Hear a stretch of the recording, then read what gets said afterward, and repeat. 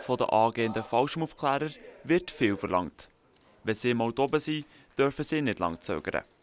Obwohl sie erst letzte Woche ihren ersten Sprung hatten, wirken die jungen Springer schon sehr routiniert.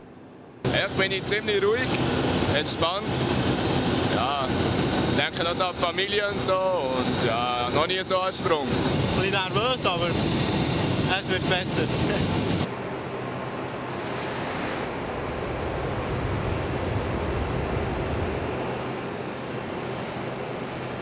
Noch etwas anders tönt es beim Stefan Keller. Er hat erst gerade seinen zweiten Sprung hinter sich.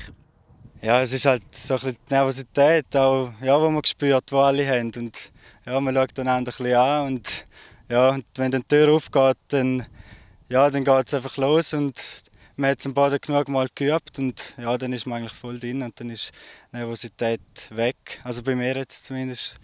Ja, und nachher ab da ist es gelaufen. Zwei Teams mit je etwa vier bis zehn Personen sind zu Kappeln am Trainieren. Schon am ersten Tag wird normalerweise der erste Absprung gemacht. Innerhalb von zwei Wochen sind es dann für jeden sogar 25 bis 28 Sprünge. Also die Anforderungen an die Springer sind eigentlich, dass sie in diesen zwei Wochen lernen, damit umzugehen, aus einem Flüger rauszukumpen, schön ruhig bleiben, die Sicherheit bekommen vom Fallschirmspringen und eigentlich äh, das Material lernen können. Das Gefühl von Schwerelosigkeit ist schwierig zu erklären.